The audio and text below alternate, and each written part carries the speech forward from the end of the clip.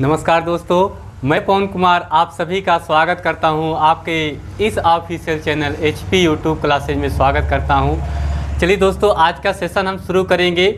मज़ेदार सेशन होगा आज का। और आज की जो हमारी क्लास होगी, दोस्तों, आज ओनली केवल जो मैंने चैप्टर शुरुआत किया है क्लास दस का मैथ निर्देशांक जेमटी जो दसवां क्वेश्चन आज आपका होगा, वो प्रश्नावली सात दशमलव दो से आखिरी क्वेश्चन होगा। मैं उस क्वेश्चन को आज आपको क्लियर कराऊँगा।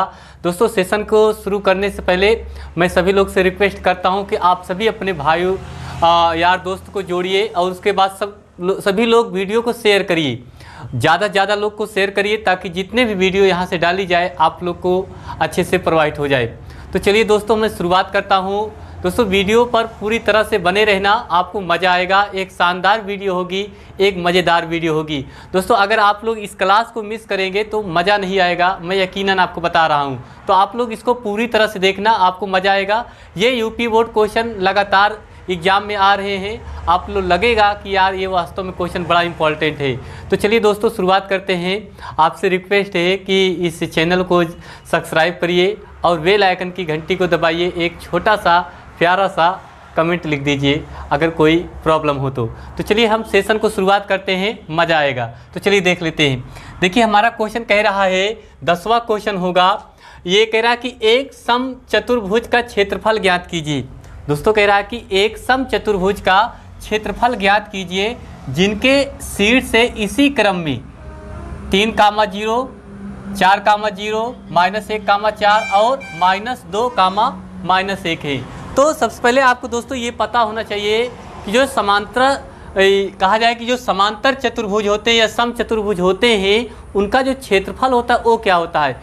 ये जो सम चतुर्भुज होते हैं ये जो कहा जाए कि सम चतुर्भुज जो होते हैं आपको, उनके जो क्षेत्रफल होते हैं, इनके विकर्णवत के लंबाई के, इनके विकर्णवत के गुणनफल के क्या होता है? बराबर होता है। तो चलिए हम इसको शुरुआत करेंगे। हल में कैसे लिखेंगे?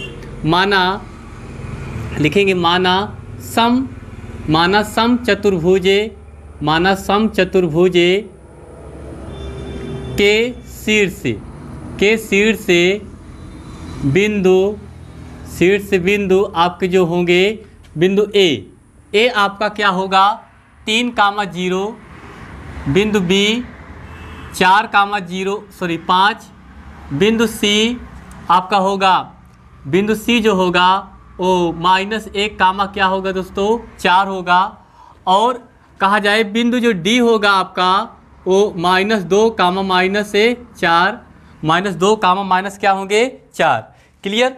आ, तो सम चतुर्भुज ए बी सी डी के शीर्ष से ही लिख सकते हो आप सम चतुर्भुज सम चतुर्भुज ए बी सी डी के शीर्ष से हैं। ठीक है? ये इतना आपको ध्यान रखना होगा। तो इसके जो विकर्णवत होंगे वो क्या होंगे? देखिए विकर्णवत इसके अगर बात करें ए और क्या होगा? सी होगा और बी और क्या होगा? डी होगा। मैं अगर यहाँ से बात करूँ फिगर की तो इस तरह से देख लेते हैं। यहाँ देखिए, ये आपका फिगर बनेगा। एक जो सम चतुर्भुज बनेगा, इस तरह से बनेगा। ठीक है? देखिए ए बिंदु होगा, ये बी बिंदु होगा, ये सी बिंदु होगा, ये क्या होगा? डी बिंदु होगा। अब ए बिंदु के निर्देशांक आपका दिया है तीन कामा ज़ीरो। तीन कामा ज़ीरो।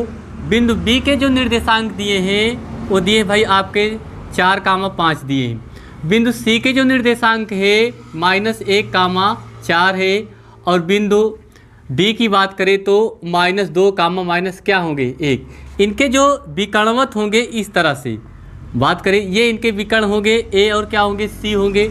उसके बाद फिर और आपका विकर्ण क्या बनेगा? डी और क्या बनेगा? ए तो इस तरह से हम इनके क्या करेंगे दोस्तों? विकर्णवत विकर्ण निकालेंगे। और विकर्ण का मतलब ये होता है कि ए और सी के बीच की दूरी निकालेंगे, फिर उसके बाद बी और डी के बीच की दूरी निकालेंगे। तो चलिए हम इसका लगाते हैं। तो यहाँ लिखेंगे, इधर देख लेते हैं, बिकाणे, ध्यान देखना, बिकाणे बिकाणे ए सी ए सी के बीच की दूरी, के बीच की दूरी, ठीक है?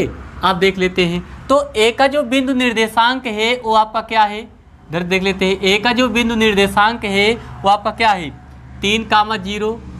बिंदु सी का जो निर्देशांक है माइनस एक कामा क्या दिया है? चार। माइनस एक कामा कितना दिया है? चार। ये देखिए, बिंदु सी। बात करें यहाँ से, ये यक्स वन है, ये वाई वन है, ये यक्स टू है, ये वाई टू है। क्लियर अब देख लेते हैं, दूरी का जो सूत्र होता है अंडर रूट क्या होता है? X one minus x two का होल स्क्वायर प्लस लगाएँगे y one minus y two का होल स्क्वायर क्लियर आप देख लेते हैं यहाँ से यक्स वन। यक्स वन का मान कितना रखेंगे? तीन। माइनस यहाँ है और यहाँ पर माइनस सूत्र में। तो ये माइनस माइनस क्या हो जाएगा? प्लस हो जाएगा एक का स्क्वायर। प्लस लगाएँगे। फिर देखिए वाई वन। वाई वन का मान ज़ीरो माइनस चार का स्क्वायर करेंगे। अब इस तरह से ये हो जाएगा। तीन एक कितना हो जाएगा? चार का स्क्वायर करेंगे। प्लस यहाँ देखिए इसको भी घटाएँगे तो माइनस चार का स्क्वायर ही बचेगा। ठीक है? अब इस तरह से देख लेते हैं यहाँ पर। चार का वर्ग सोलह, फिर चार माइनस चार का वर्ग भी सोलह। तो इस तरह से ये सोलह सोलह कितना हो जाएगा? बत्तीस। तो दोस्तों, यहाँ से आपने देखा ये बत्तीस निकला। तो अगर बत्तीस का हम वर्गमूल निकालें तो इसका वर्गमूल निकलेगा। चार चौ सोलह दूनी क्या होता है? बत्तीस। तो इस तरह लिख सकते हो इसको। चार रूट में दो मात्रक। यहाँ से आपका जो विकर्ण निकला, ए और सी निकला दोस्तों, वो क्या निकल के आ गया? आपका इस तरह से निकला। चार रूट दो मात्रक निकला। अब हमें निकालना है किसका? विकर्ण बी और क्या निकालना है? डी निकालना है। विकर्ण बी और क्या निकालना है? डी निकालना है। तो विकर्ण बी और डी का भी कहा जाए कि दूरी निकाल लेंगे तो उसके बाद हम चतुर्भुज ए, बी, सी का क्या करेंगे? क्षेत्रफल निकालेंगे। तो चलिए हम यहाँ से देख लेते हैं। ठीक है? तो थोड़ा इसको आप जल्दी से नोट कर लेते हैं। मैं इसके आगे थोड़ा से बता रहा हूँ। ठीक है?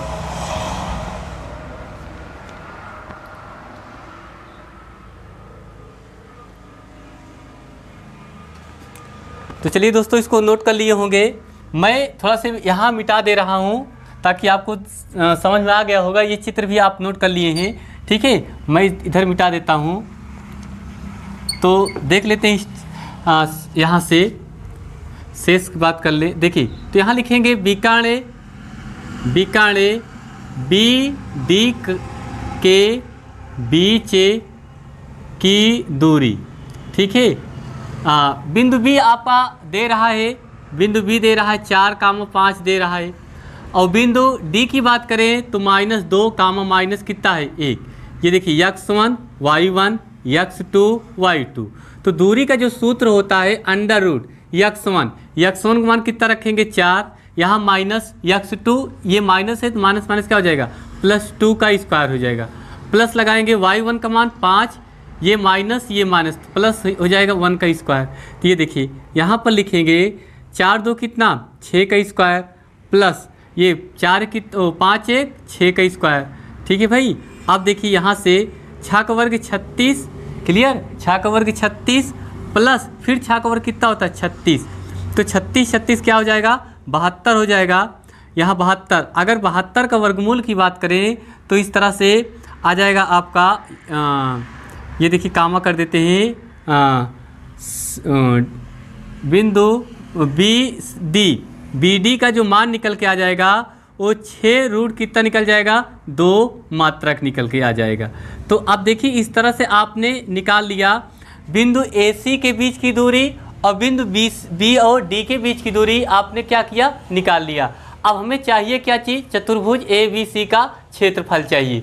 ठीक है तो चतुर्भुज ए बी सी डी का जो क्षेत्रफल होता है, वो हमारा सूत्र क्या होता है? तो चलिए आप इसको भी नोट कर लेते हैं जल्दी से। तो मैं थोड़ा इसको मिटा करके आपको वहाँ से आगे बताता हूँ।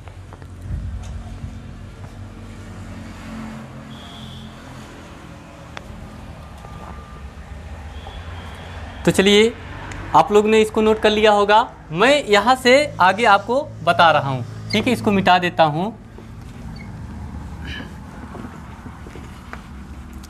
देखिए भाई तो मैं आपसे यही कहूँगा, आप लोग इस वीडियो पर आए हैं तो आप लोग अच्छे से पढ़िए, आप लोग को मज़ा आएगा। पूरी तरह से कवर कराएँगे हम मैथ को, आपको कहीं अदर चीज़ में भटकने की ज़रूरत नहीं है। अगर आप लोग को समझ में आ रहा है तो आप लोग जुड़िए और ज़्यादा से ज़्यादा हो सके तो इसको क्या करिए, देखिए। तो चलिए हम शुरुआत करते हैं इसके आगे। तो यहाँ लिखेंगे, अतः लिखेंगे, अतः सम चतुर्भुज सम चतुर्भुजे, सम चतुर्भुजे सम चतुर्भुजे, ए, बी, सी, डी का क्षेत्रफल बराबर क्षेत्रफल बराबर यहाँ से लिख देते हैं, एक बटा दो, एक बटा दो, इन गुणे गुणे विकर्णों का गुणनफल, विकर्णों विकर्णों का, विकर्णों की लंबाई का लंबाई का गुणनफल ठीक है? गुणने फल। तो ये दोस्तों इसका सूत्र होता है। तो चलिए यहाँ देख लेते हैं। देखिए, यहाँ। तो एक बटा दो लिखेंगे गुणे। अब देखिए, पहला जो विकर्ण था ए और सी जो था, वो चार रूट कितना आया दो आया, गुणे। फिर दूसरा जो आया, वो कितना आया छः रूट कितना आया दो आया। क्लियर आप देख लेते हैं यहाँ से। तो यहाँ लिखेंगे एक बटा दो गुणे। देखिए, ये चार चौ चार छंग कितना हुआ? चौबीस। चौबीस यहाँ लिख दें अब गुणे रूट दो रूट दो गुणा कितना हो जाएगा? दो हो जाएगा। इस तरह से भी आप कर सकते हैं। ये देखिए, दो से दो क्या हुआ? कट गया। तो यहाँ से आपका जो मान निकला, वो कितना निकला? चौबीस। अब आपको ये पता होगा कि जो क्षेत्रफल आता है, वो किसमें आता है? वर्ग इकाई में। ठीक है भाई? इस तरह से दोस्तों, आपका यहाँ से ये क्या आ गया? आंसर आ गया। तो ये दसवां क्वेश्चन था। आपने देख लिया, एकदम सरल तरीके से मैंने आपको क्वेश्चन को हल कराया। आप लोग इसको दोबारा तिबारा रिवाइज कर लेना, आपको मज़ा आएगा। मैंने बताया सम चतुर्भुज जो सूत्र होते हैं, इनके आपको बताया कि विकर्णवत के लंबाई के गुणनफल के क्या होते हैं? बराबर होते हैं। तो आप इस तरह से इसको नोट कर लीजिए। और इसको रिवाइज भी कर लीजिए। मैं नेक्स्ट दूसरे वीडियो में आपसे मिलता हूँ, अगले क्लास में मिलता हूँ आपको प्रश्नावली सात दशमलव तीन, एक शानदार, एक मज़ेदार वीडियो के साथ उसको हम शुरुआत करेंगे। तो चलिए सब लोग को एक बार फिर से आने के लिए आपको बहुत बहुत कोट कोट धन्यवाद। थैंक्स